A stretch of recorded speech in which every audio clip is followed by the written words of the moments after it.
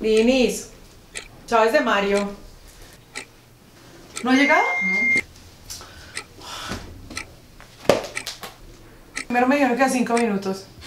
Y ahora que estaba abajo esperando. No, no, no. Es mentira. No has llegado, culicagado, deja de inventar. Hola, ¿me traes un café con leche, porfa? ¡Mentira! ¡Llegaste! ¿Estás jugando con mis sentimientos o si llegó? ¡Culicagado! Hola. Me- me- así me gusta que me esperen. ¿Cuántas horas? Así me gusta que me esperen. Sí, claro, ¿cuántas horas me dejaste esperando? Si hubiera sabido que me estaba esperando así, yo hubiera llegado desde por la mañanetica. Bueno, ahora quítate la ropa porque aquí es sin ropa, mi amor. Bienvenido Mario Ruiz a Pillow Sessions. ¿Cómo estás? Muy bien, muy bien, aquí feliz, eh, encantado de estar aquí. Es la primera entrevista que me hacen en una cama. Los hoteles, los aviones y los destinos son lo nuestro. Entonces, como yo sé que tú eres un viajero empedernido, Puede ser. un pobre que siempre lo deja el avión, porque siempre te deja el avión. Toda la vida estudié en la tarde, o sea, nunca, nunca me levantaba temprano, entonces cuando me toca levantarme temprano es muy duro para mí, o sea, hay veces me da el despertador y o sea, no lo escucho, por más duro que esté, no lo ¿Has escucho. intentado varios tonos? de Varios tonos. O sea, ¿cuál canción podría despertarte y dejarte así como súper alerta? Bueno, lo que pasa es que antes ponía canciones Ok. y lo que hacía era que me gustaba la canción y Ahora tengo el tono el que empieza a sonar, o Pa, sea, pa. sí, horrible, horrible, horrible. Pero ese no te, no te molesta y ya te... te- No, hay veces no me, o sea, hay veces es en- dentro del sueño, lo escucho es como dentro del sueño, pero no, no me doy cuenta, entonces me levanto súper tarde, salgo corriendo y entonces la mayoría de las veces por eso pierdo los vuelos. Pero alguna vez te ha dejado el avión así como, como una inesperada. A mí me ha dejado ya después de chequear, como Uy, no. el duty Uy, free. ahí, Shan. A mí una vez eh, me dejó, ya estaba, o sea, llegué a la sala, literalmente enfrente de la puerta había como una tienda, me senté ahí a comer, entonces bueno, empezaron a llamar, empezaron a abordar, estaban haciendo la fila y yo dije, ah, bueno, termino de comer, pago y, pues ya cuando se termine la fila me monto. Estaba terminando la fila, pagué, fui donde la, donde la señorita de, de Avianca y apenas entró la última persona y iba a entrar yo me dijo, no, ya está cerrado el vuelo y yo... Señorita, estoy sentado ahí hace una hora y media. Me decía, no, no, no, ya el sistema ya te sacó. Y yo, No. ¿qué? Pero señora, estoy ahí. Y no, me tocó, o sea, me hizo perder el vuelo. Y rogaste, Y lloraste. le rogué, le dije, pero señora, estoy, o sea, acaban de entrar, por favor, o sea, no han cerrado el avión. No, no, no, y me decía que no, que no, que no. Que no. Te reto a hacer la mejor escena de rogada de puerta de avión. En Era como- no. Señorita, por favor, se lo juro, yo estaba ahí, por favor, se lo juro, No, no, señorita, no, mire, llevo favor. una hora y media, no lo puedo creer, acaban de no entrar. toque, Señor- señorita, pero sí, por favor, no, eso, eso no puede ser cierto, es que, oigan, si gente, llevo de verdad, gente, de ¿cómo verdad, no lo puedo creer, esta falta de respeto que, porque no siempre utilizan las redes sociales, no, no- no los amenaza, no los amenaza. No, no lo puedo, eh, oiga, me parece una falta de respeto esto que está pasando aquí, llevo una hora y media aquí. No, no, no, no, no, ¿me está grabando? Se- No, Señorita, no, no, eso no se puede hacer. Señorita, Eso no se pero puede hacer. No, no, no, no, no. O sea, no, es que no, no puede grabarme. ¡Un aplauso!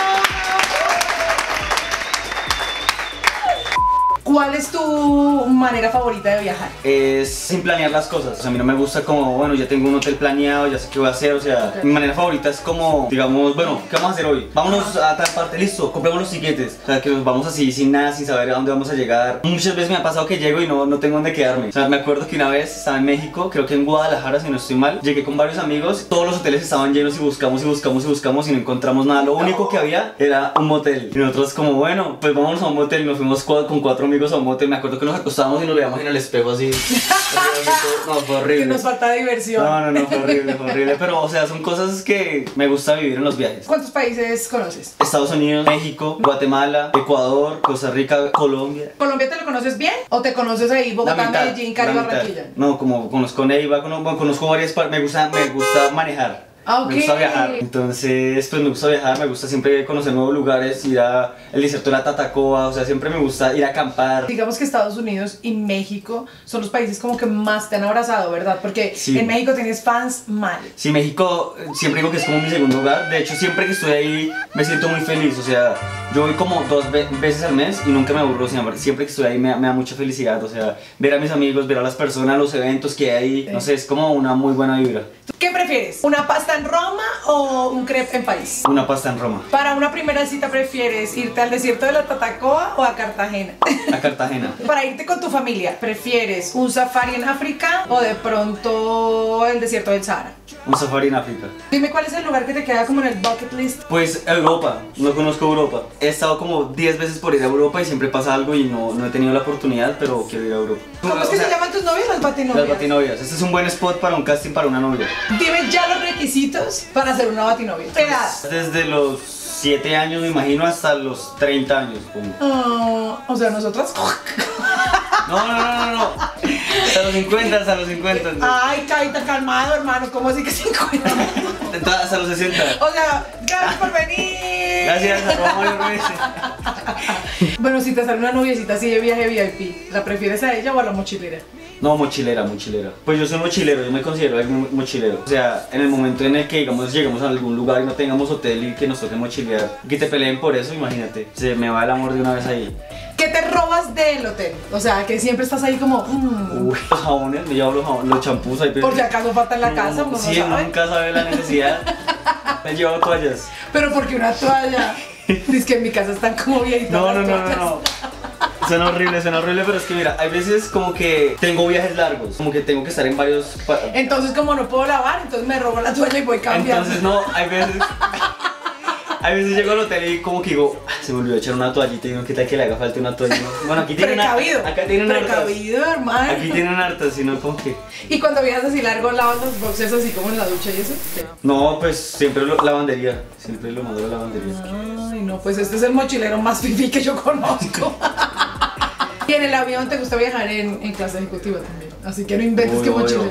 No, pues o sea, no, no, no, no, no, un momento, o sea... No, no, no, no, ¿qué es mochilero? Un segundo. Pues, o sea, obvio, a todo el mundo le gusta viajar en clase, ejecu- en clase ejecutiva. Pero, o sea, En clase ejecutiva. no, pero es que a veces hay viajes de nueve horas. Imagínate uno ahí, Spirit, ahí uno ahí. Hacia para atrás, o sea, o sea, hay que ser mochilero, pero, pero la espalda, hay que pensar en el futuro. ¿Cuál es la peor, la peor experiencia que te has has tenido en un avión? Viajaba de Los Ángeles a México, si no estoy mal, o a Miami, bueno, eran como 5 horas. Entonces me tocó la última silla, la última, la última silla. Entonces me tocó pasillo, me acuerdo. Entonces tú me senté, que la silla, horrible la silla. Yo re duro y yo, bueno, me voy a acomodar, me voy a me me acostar ya a dormir. Eso, eso no, se, eso no se podía correr, o sea, no se no, no, no estaba la palanca para correrse la silla. Yo, no, Dios. O sea, y eso uno no. Estuvieran que uno se sentara así, pero es que eso es, eso es como así. Venía así, entonces al lado iba una señora y en la ventana había un señor, entonces como que se conocieron ahí en el avión. Entonces como que el man estaba ligando y le iba a empezar a invitar algo de tomar. Entonces la azafata era como un poquito gorda. Entonces cada vez que le pasaba una cerveza, entonces la vieja, entonces yo estaba durmiendo y me pasaba así como que, o sea, como que me pasaba así la mano para entregarle la cerveza. y yo- así, y todo el viaje, y no, fue horrible, o sea, fue horrible. Tenía frío, no habían cobijas, no, no, no, fue, no, fue horrible, fue horrible, fue horrible. Había turbulencia, no, fue horrible. Muchas gracias por estar acá Muchas con gracias nosotros. por la invitación. Contarnos más. Yo cuando, ti, yo, yo de cuando, tu yo, vida. yo cuando entré no pensé que era una entrevista, sino pensé que era otra cosa, pero bueno, bueno que fue. O sea, ¿te vas triste? ¿Te vas no, no, no, no, no, no, no, no, bien, bien, bien. Así como, no, yo recojo mis cositas. No, yo me he visto, yo me he visto. Vamos a hacer la parte final eh, por un experto porque yo siempre digo como, bueno, chao, nos vemos en el próximo Pillow Bueno, Sessions. normalmente, antes de que se me haga algo. Normalmente termino mis videos con un cojín Ah, ok, lo tiras. y lo tiro hacia la cámara. Digo siempre como, pues yo siempre le digo a la gente como, dale like si te gustó. Ay, yo quiero uno- ser youtuber por un día. Dale like si te gustó, compártelo. Dale este, en tus favoritos, entonces tienes que poner corazón, entonces hacemos el corazón. Pon en tus favoritos, enséñaselo a tus amigos. Bueno, Aquí hay una cuenta bancaria que está apareciendo abajo en la pantalla. colaboren con la causa. Y, y tiro, y tiro el cojín. No, no, no, nosotros, tú me vas a enseñar a ser youtuber y yo te voy a enseñar a ser periodista. listo, perfecto. Sí, deal. Listo, de una. Bueno, hasta la próxima. Hasta la próxima. Gracias. Bye.